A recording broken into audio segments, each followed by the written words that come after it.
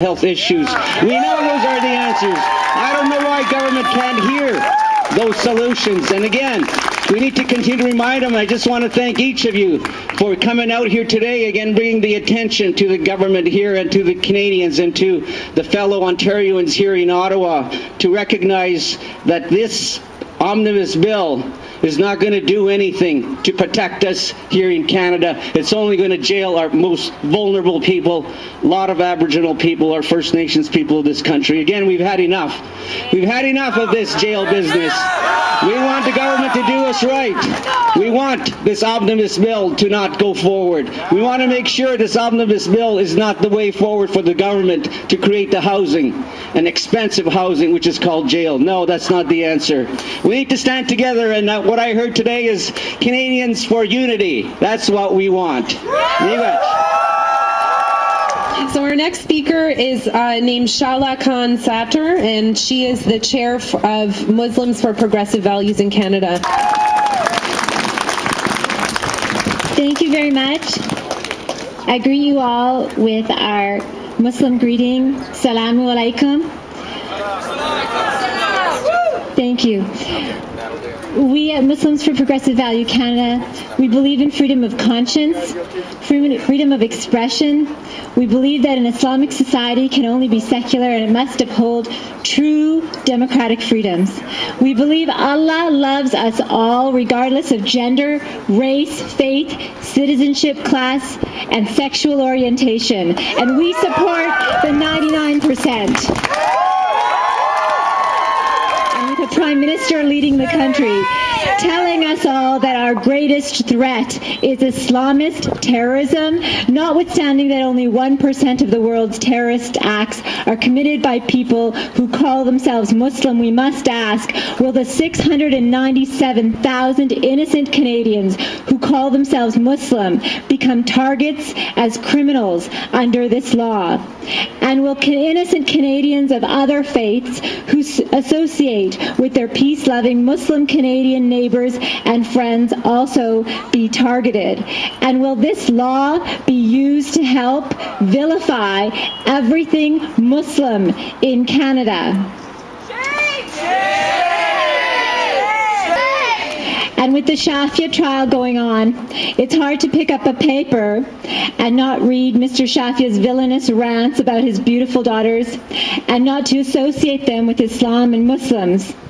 But the rest of us must not lose sight that not all Muslim men are Muhammad Shafia.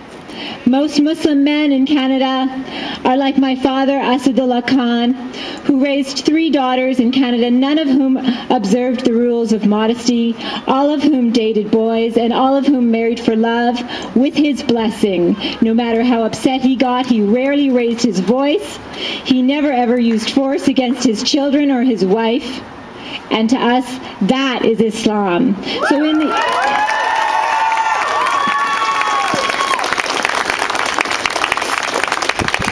So in the interest of ensuring we do not become what we hate here in Canada, I would ask everyone to oppose this bill. Assalamu alaikum.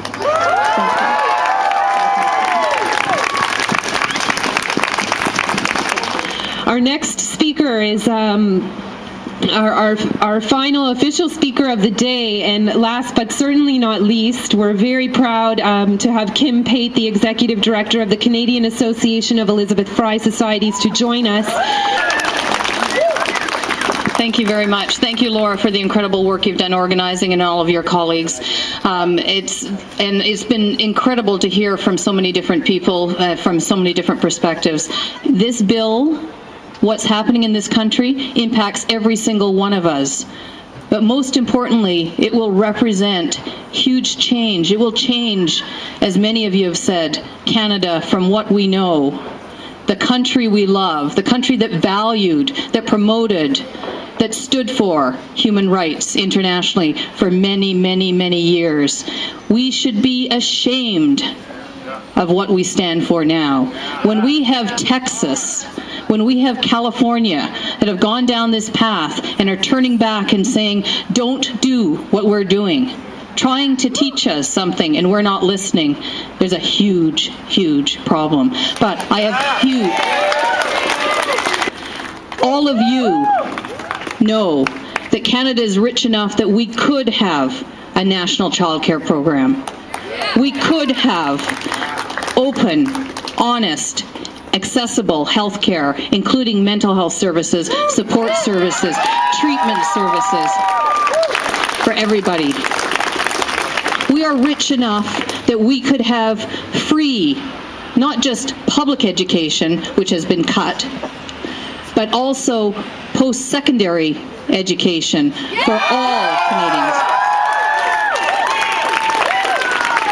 It's no accident that countries that have the highest literacy rates, the lowest poverty rates, also are the most peaceful countries. Many of those are disappearing as well. And they're looking at, others are looking at Canada and the leadership or lack thereof and following in ways that we don't want them to follow.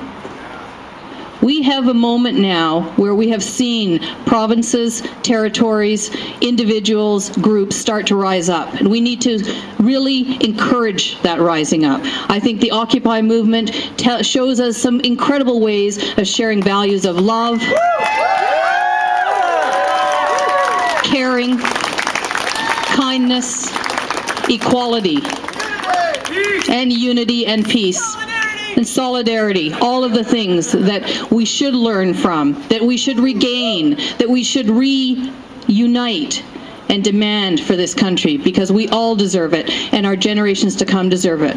When my, my daughter, who's 12, nearly 13, first heard about this bill, she thought I was saying the ominous bill.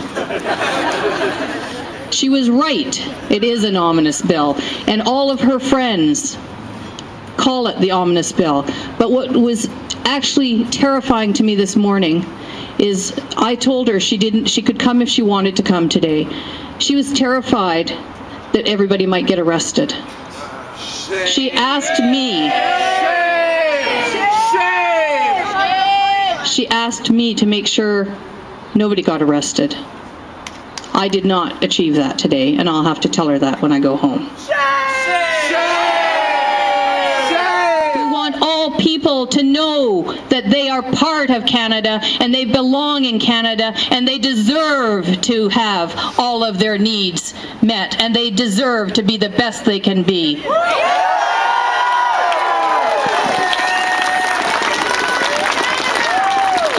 People united will never be defeated. People united will never be defeated.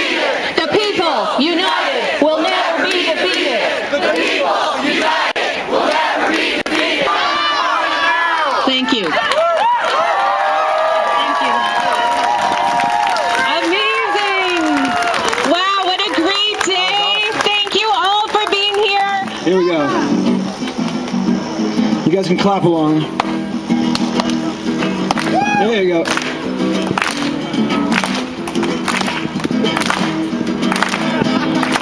Even Texas said that more prisons it actually creates more crime. We've got to occupy the agenda. People, this is our time. Here we go now. People, this is our time.